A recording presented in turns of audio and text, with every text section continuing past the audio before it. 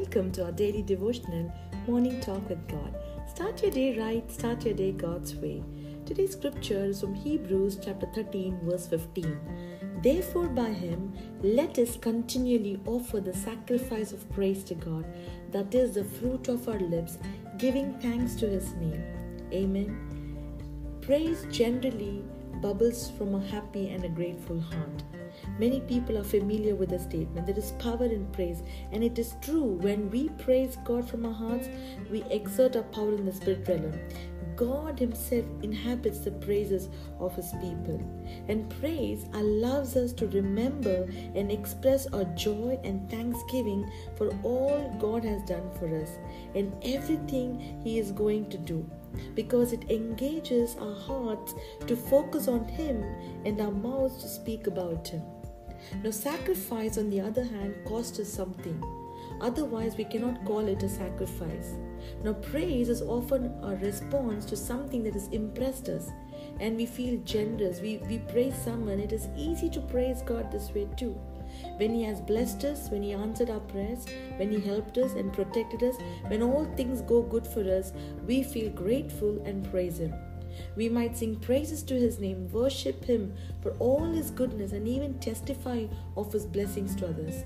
This is a kind of praise which is worthwhile, and God expects this gratefulness from us. However, this kind of praise cannot be considered a sacrifice. There are times in our lives when God does not come to the way we expect Him to. Probably our prayers are not answered, our medical reports come positive, we cannot see the goodness in our circumstances, we lose our loved ones, and we feel that God has forgotten us. How about praising God in such moments? And I'm sure that praise would be the last thing to bubble up from most of our hearts. Because when things get tough, praise gets harder, my friend. And this is a sacrifice of praise which is often difficult and costly. And to praise God in those troubled times, it becomes a personal sacrifice. So, through such a sacrifice of praise, we confess that God is still good and we can trust it, although things do not work our way. Amen. Thankfully, we can tap into the power that is released through praise. It gives us an opportunity to express how truly and thankful we are. Amen. God delights in when we give praise unto God, when we show our gratitude towards Him.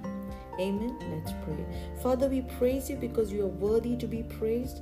Thank you for everything that you have done in our life and everything you are going to do in our future. We love you, Lord. Irrespective of our circumstances and situations, we will continually offer our praises and thanksgiving unto you. In Jesus' name we pray. Amen. Thank you for listening to today's message. Do subscribe, share, like, and comment. God bless you. Have a blessed day.